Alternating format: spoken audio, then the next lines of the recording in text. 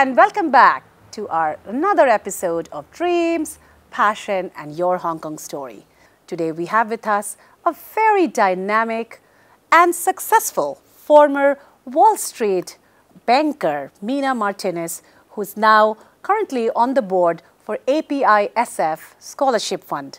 Mina will tell us in detail about the scholarship fund, but this scholarship fund definitely tends to bring up a lot of underprivileged but totally deserving students from Asia Pacific Island Group.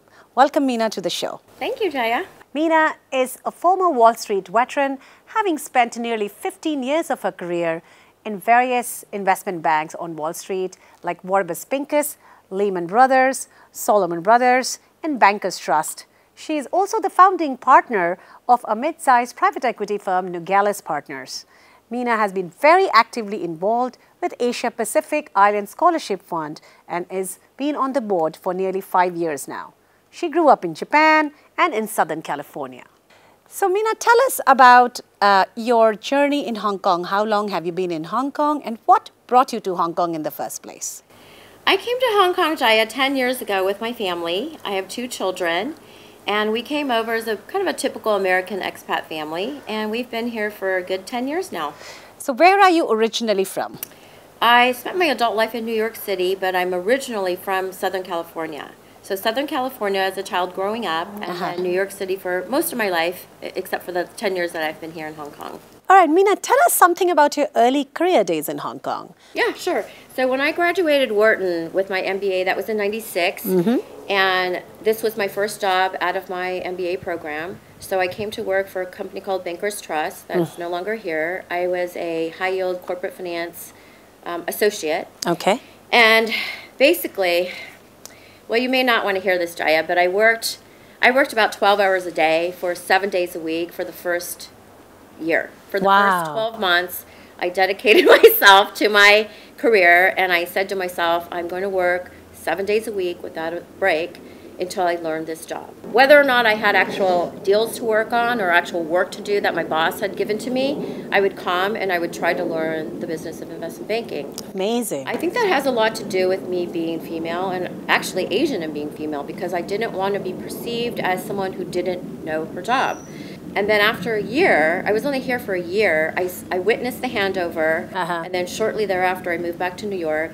And I worked for, at that point, Salomon Brothers in the same capacity, basically. Okay. Um, in investment banking, same high yield division. But I didn't like it as much. I liked okay. my job here in Hong Kong better. I just had um, people that I was very connected to here in Hong Kong, and my team was very lovely. Right and, and um, it, it, wasn't the same feeling in New York. In New York, it's much bigger. It's probably um, different in that you get exposed to more deals, mm -hmm. but you don't have the same relationships that you would with your bosses and the, the people okay. that you work under. Okay. So then I moved to what was called the um, the buy side, okay. which is private equity, mm-hmm. and I was lucky, lucky enough to get a job at Warburg Pincus. Okay. I was the principal there. Okay. Which meant that I was in charge of doing investments, okay. investment decisions. Right. And I absolutely loved that job. Wow. So it was kind of the flip opposite of investment banking. So for me, for the way that my career went, is that you put in your time with investment banking. It's a dynamic, wonderful career um, choice. Yes. But it is very full on, as yeah. the seven days a week, 12 hours a day kind of suggests. Wow. And so on the buy side, for me, it was a much more manageable lifestyle where, okay. where I worked five days a week. Okay. Had my weekends to myself. Okay. But more importantly, I was actually making the investment decisions. Okay. So it was our money that we were putting on the line, and we were backing management teams and companies and saying, yes, we like this investment idea. We're going to put $50 million into mm-hmm. your company to build a company with you. And then um, when did you come back to Hong Kong? So I've been here for 10 years, so 2010. And so when you came back, were you still an investment banker? No, I had already given up my investment banking job. I had done it for about 12 years. Okay. And then I stopped doing that and actually worked part time at a hedge fund for, for a little bit. So you've done it all. and it is quite frankly hard to do some of these jobs yes. and being a full-time mommy. You started your career as a banking professional in Hong Kong and then went on to become an investment banker in New York City. Did you notice that there was a difference in style of work? There's a big difference actually because the flow in New York is just so much larger. um, and it's less personal, therefore. So this is, I think, a, Hong Kong is a great place to start your career because you do get that more tailored kind of uh, mentorship from your. At my, for me, I was an associate, so my mentor would have been my MD, my managing director, mm-hmm. and you just get way more hands-on. Uh, it, it's almost like an apprenticeship out here when you work with somebody because it's a much smaller group. You're not in a gigantic bullpen like you are in New York, um, and then you just get you get to build a relationship with your actual colleagues. So less deals in Hong Kong, but way more relationship. New York is way more flow, so you'll learn probably quicker because you're working on more deals, mm-hmm. but it's certainly not about relationship creating at all. So tell me, what motivated you to get into APISF? What yes, was the trigger I point? I love this question, Jaya. So when I got into Wharton, I was a loan officer for Mitsui Bank, so I had a fancy title and I ran half the portfolio, the real estate portfolio. Mm-hmm. Myself and, a, and my boss uh, ran the portfolio together. However, I only made about $20,000 a year. And so I was not going to be able to pay for my tuition and room and board at Wharton, which was at the time about $35,000, $40,000 a year. Mm-hmm. And because of this, I asked all of my colleagues, all of my bosses, my parents, everybody, nobody could give me a loan to go to Wharton. And at the time, unless you can show that you have the money in your bank account to be able to fund yourself for the first year, they wouldn't accept you. They, you wouldn't be able to go. Wow. So I literally would not have been able to accept the offer from Wharton if I could not show that I had the money. And I didn't have the money.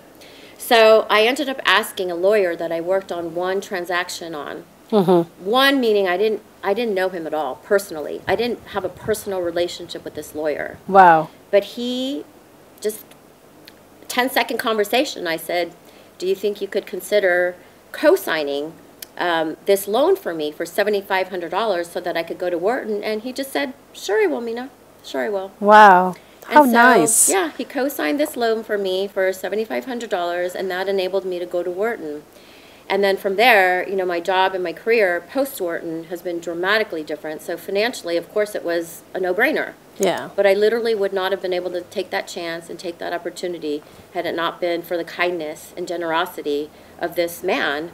But there, was this man associated with APISF? Nothing like that at all. No? No association whatsoever. Wow. He was nearly virtually a stranger. And he said, I believe in you. There are good people everywhere. There are good people everywhere. And I remember at that time, I made a mental note to myself that I will pay it forward when I can. And this is just the promise that I've made to the universe that wow. the universe allowed me to go, and it's my duty to pay it forward. And how pay it forward not just $7,500 worth, but in yes, spades, because that's course. really how you're going to improve the community that you're from and, and support the people who have helped to support you. Tell us about APISF. I think it starts for A, stands for Asia Pacific Island uh, Scholarship Fund. Yes. So, what got you started? What got you motivated uh, and excited about APISF? Who are the Asia Pacific Island community people that this scholarship fund tends to? Yes. Well, actually, it's you can kind of think of it as the Asian American mm-hmm. Scholarship Fund. I see. And within Asian American, we also include Pacific Islanders. Okay. And that would be Guam, the American Samoa Islands. I see. So anything that is a U.S. territory. Um, connected to the U.S., but then also all the Asian Americans yes. that are living in America right now, who are basically college students, uh-huh. and those who are struggling to meet their financial needs when they do get into a college. So typically our students are very, very high performing, oftentimes valedictorians or at the top of their class. They might get into great colleges, but they simply cannot afford to go I see. to that college uh-huh. uh, because the parent participation piece is too high. Or they might go, but they don't have money to even eat sometimes. So in order to fill that financial gap, um, a partner, my, Lisa Begley, and I started this Asia Pacific Islander Scholarship Fund, the, the Hong Kong chapter here, because we did, first of all, recognize that we ourselves are from that demographic, and we ourselves benefited from scholarship oh, funds that were given to us um, in my in my academic career. And then, second of all, there's just many, many Asian Americans here in Hong Kong. Very nice. Did you join APISF in Hong Kong? I was actually, I've been with the organization for about 15 years, mm-hmm. strictly as a board member and as a, let's say, supporter. I see. Um, I created the New York chapter about 15 years ago, and I did that for about five years. And then when I moved to Hong Kong, I started up the Hong Kong chapter because of what I said is there's just a lot of Asian Americans here. Right. And there are a lot of corporations that hire a lot of Asian Americans here. So, so I thought it would be a nice synergy okay. starting it starting it up here. Um, there are a lot of people who have benefited themselves from wow. scholarships who are now head of their groups and head of their firms out here in Hong Kong. So tell me, you have this foundation, you know, you have this uh, fund running here in Hong Kong. And you also have, I think, uh, a group of people who are totally dedicated to you, to this, including you. Do you have a network in place? Like, do you have a system in place which makes sure, you know, once the money comes in for the fund, it reaches the right students? So, how do you ensure that? Yes, that's such a great question, Jaya, because oftentimes with scholarship funds and different foundations, you don't really see where the money goes. Yeah. With our scholarship foundation, we have a very close link with our headquarters, which is in Washington, D.C., and we actually get to see and actually get the profiles of and even mentor those students that we fund. So we kind of have a say in who we get to fund in our Hong Kong chapter. And to date, we've funded about um, 45 students. I see. And so we have our scholars that are coming directly from the Hong Kong Fund. Okay. And they're quite aware that they would not have had this pocket of funds, funding available to them if it had not been the beginning of our chapter, if our chapter had not existed. Okay. So we see where our direct impact is, is taking place. And we get, like I said, the mentoring opportunities. So we get their full academic backgrounds, their history, what they're interested in. Mm-hmm. And we also have the ability to pick if we wanted to, let's say they wanted, we wanted them to come from finance or marketing. So if we wanted to select those industries where we could actively mentor, mm-hmm. then we also have the ability to do that. To do that. So the ability to touch our students and see the impact of our scholarship funds is, is very real. What were some of the challenges that you faced growing up, and how did you make your way as an Asian all the way in those days? And it's hard even now, I know, but in those days, to these top Wall Street firms which are very white dominated. What would your what would be your advice to some of the youngsters who are looking to make a similar journey like yours? Um, well, that's a great question. Um, okay, contrary to what I do now, I very much was part of a stereotype where I was that geeky Asian kid really? who was good at math. so I kind of just focused on my studies because I simply just didn't have a social life back then. I didn't have a lot of friends. I was very intimidated to speak. I didn't speak up in my classes even though I knew the answers. And then I went to college. I went to undergrad at UC Irvine, which is in um, California. Irvine, yes. California. And I decided I really don't want to be this. I don't really want to be this shy person because it's lonely and it's sad, and I have to transform my personality really um, in order for me to be happy. Mm-hmm. So I joined a sorority, mm-hmm. and uh, then I just said to myself, I'm not going to be quiet anymore. I'm going to start to speak up. And I had great friends. I had what's called a pledge group. If you're familiar with sorority life, but you have a yes. pledge group, you have your pledge sisters. Okay. Kappa Kappa Gamma, shout out to that. And I still keep in touch with all of my sorority sisters now. But they, because you had this cocoon of lovely girlfriends who kind of supported you, and they were all just as loud and vivacious. Yes, and very spirited. and so I didn't feel awkward getting right in there and doing all that. Okay. So I spent then my college years doing all the social socializing, I guess, and getting mm-hmm. kind of that out of my system, while also maintaining pr- pretty much a straight A grade point average in okay. uh, college. And then, and I focused on economics. That was my major back in undergrad. Mm-hmm. And then after that, I worked at Mitsui Bank. I don't think that bank is around anymore, but it was one of the top Japanese banks. And I became a real estate loan officer. Okay. And I did that for five years. And I think that was a very transformative experience because it's taking my math experience and actually doing business with it. If you kind of look at my background, the way I've spelled it out to you. Yes. Yes, I was a straight A student. Yes, I was, you know, valedictorian in my class here and there.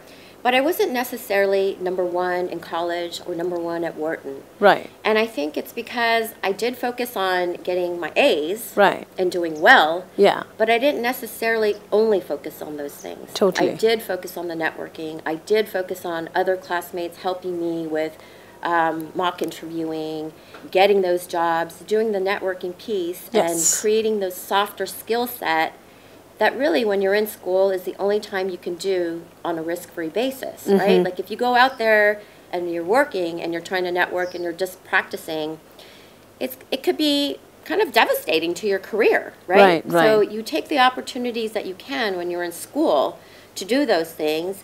And yes, it sounds overwhelming to do that and maintain your grades, Mm-hmm. but you don't have to be number one. You know, you don't have to get 100% on your test score. Just go for the 95. Right. But then move on to these other skills that actually are going to help you even more down Yeah. the line. Mm-hmm. So that would be the advice that I would give. So, you know, you've lived in Hong Kong for how many years now, Mina? 10 years. 10 years. How has Hong Kong been for your personal journey? I think from a personal perspective, it's quite dynamic, especially if you're Asian American. Now, for Asian Americans like myself, it is actually a phenomenal place to be, right? Because when you're Asian American in America, you're still quite a minority, right? So Okay, yes. not everybody is going to look like you, Right. and not everybody in um, Hollywood on movie in movies, TV, commercials. Your day to day influences are not Asian American. Yes. And so you kind of grow up feeling like, oh, do I really fit into this community? Do I not fit into this community? It's your home, Right. but you're not necessarily going to look like everybody else. Yes. Then for me, I went I, when I go to Japan. Mm-hmm. Same is true on the flip side. Yes, they look like me, but Yeah. they don't speak like me. Totally. so you are sort of in between there now. and that's how Asian Americans, I think, basically live their lives. yes. Except for in Hong Kong. Hong Kong. Totally. Because in Hong Kong, you get to be this oddball Asian international, speak many languages, eat many different foods, and there are going to be many people like you here. So for Asian Americans in particular, whether it's Japanese American like myself or certainly Chinese American, Yes. Korean American, anything, you find you tend to find a good segment of that pop, those populations here in Hong Kong, and therefore all the foods are here. You can buy groceries um, related to those cultures here. So I think for for someone who's of that background, it's a phenomenal place to be. Now, are you ready for our rapid fire question round? Sure, Jaya. That's getting to know Mina's Hong Kong story in a bit more fun way. All right. Okay, sounds good. So the first question. What was the last time you did something for the first time in Hong Kong or anywhere? Oh, this is so embarrassing. I've been here 10 years and I just recently hiked Dragon's Back. What? really? I would think that you would hike all the time. No, no, I don't. I'm a kind of a gym rat and I have bad knees. Okay. Those are my two favorite excuses. It is the most beautiful urban hike of the world. That's what they say it. Mina's favorite casual dining place in Hong Kong. Well, besides the American Club, Okay, American Club. You can say that. I love the food there. probably Chili Fagara. Okay, I also love K roll. okay, Um, and, well, definitely Ichiran for ramen for okay. my son. Okay. Mm-hmm. Your favorite formal dining place in Hong Kong? Formal dining is a little trickier, but probably Sevva. Mm-hmm. Sevva, that, that one dining room with all the flowers in there is just Oh, it's quite beautiful. magical. Yes. And I also love Mott 32. Okay. Hong Kong is full of activities for different people. Different kind of cultural activities keeps happening here. Shows and exhibitions keep happening here. I know you are such a vivacious personality. Tell me your most favorite of one of those cultural things or exhibitions that you actually wait for the whole year. Oh, well, definitely Art, um, Art Basel. Okay. That whole month of March, which sadly is not going to happen this year, but this the whole month of March is so vibrant and so dynamic and so international and just so different from what you get to do every day um, with the anchored kind of by Art Basel, but the other Art Expo, all the different Art Asia Contemporary Show, like all the different art shows that happen here. The people who come to look at art, to collect art, you always, it's a bit of a fashion show because of that. Yeah. But then just walking around and seeing all the different pieces and all the different creations and what's great here is that there is a bit of a focus, it feels like, on Asian art. So you get to see, you know, you hear about Chinese art. Yeah. So you get to see all that kind of side by side by side. And then you get to kind of understand how Chinese art is different from Korean art, which is different from Japanese art. So you don't see that so much in the US when you attend art exhibitions you do, there? You do, you do. But Basel is very uh, special because it does happen in a gigantic convention space, and all the galleries are all there in one under one roof which is very unusual because in New York City you have the museums, but then outside of that, you know, to go hopping from gallery to gallery, it's time consuming. So your idea of a romantic date in Hong Kong? Um, yeah, I don't think I have. It's not really my, my thing, but I would say probably Mott 32 because it's so dark and swanky in there. Really? That's a restaurant? It's a restaurant in the Okay. Bank of uh, near Bank of China, Right. HSBC building. It's a Chinese restaurant, right? Yes, it's a Chinese restaurant, and they do the best uh, duck, Peking duck here in town. Okay. Um, that and probably I would say Sevva, Okay. right? The outdoor space with all the lights. It's very, very um, gorgeous to be up there. As a Hong Konger, what are you most proud about Hong Kong? I think I'm, I'm most proud that it has the reputation and it's built itself up Mm-hmm. as being a dynamic international place to be, international city. Um, I didn't mention this in my dialogue here, but I actually lived in Hong Kong from 1996 to 97. It was my first investment banking job was here in Hong Kong. Oh, So it predates the handover and it predates IFC and all of those buildings there.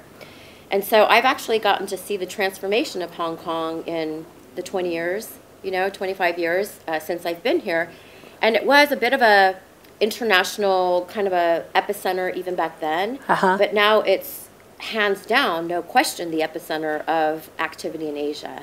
And it's great to have seen it kind of grow up that way. It's very welcoming to not just Americans, but you know, every kind of nationality all over the world. And I think that has created that sense of people can fit in here and belong here and do not just live in a foreign country and and um, kind of spend your time as an expat here, but really thrive here and really be happy here and really raise your children here. And I think that's a very big difference. I think a lot of other cities, I don't know, name a city, Tokyo, you know, Seoul, they're not as international. It's not Yeah, as easy to totally. get around in those I cities. agree.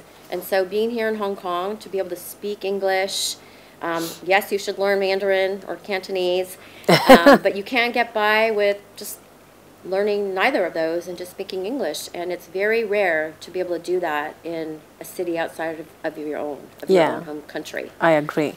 So what would you tell the global business leaders? Why should they engage with Hong Kong? Well, because of what I just said there, um, I think it draws people that are highly educated, highly talented, who come from an international, a worldly background. Mm-hmm. And let's face it, no country can afford to just be about that country. They Yes. all have to go international to do well in business. Yes. Mm-hmm. No matter what line of business you're in. So this is a great place where you get that exposure, that experience. Um, and you get to deal with whether it's clients, vendors, whatever, what have you, from all different cultures.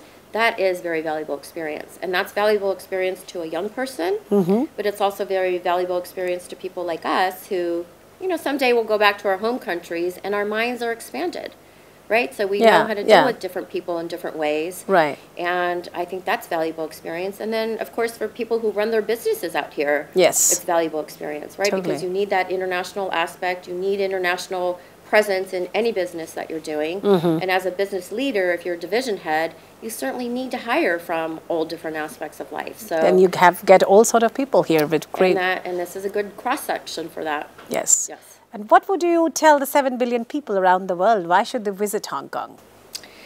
Because Hong Kong is an easy to access place to visit. Uh, like I said, you can just fly in, take Airport Express. First of all, there are a lot of direct flights to Hong Kong, so that already kind of says Totally. it's a pretty easy place to get to. The flights might be long, but once you get here, it's rather easy to get around. You can get into any kind of level hotel that, you know, whatever your finances dictate. Um, and then the city, and there's just so much to do between the city, sightseeing, outdoor things, the restaurants, temples you want to visit, um, historic sites that you want to visit. There's just so much activity to do that you're just not. It kind of is a one solution fits all for all different kind of tourists kind of a place which again is very unusual because if you go into again Tokyo since I'm familiar with that you know you're seeing the city of Tokyo but really that's it right Yeah, so yeah. you can't really do the city of Tokyo and then go visit Mount Fuji so easily Yes. so it's just a harder way to travel when you travel outside of Hong Kong. So Hong Kong is just basically easy. It's just one island and it kind of has it all here. And so it kind of fits any kind of traveler. Thank you so much, Mina, for being with us. You're welcome. Thank you for having me, Jaya.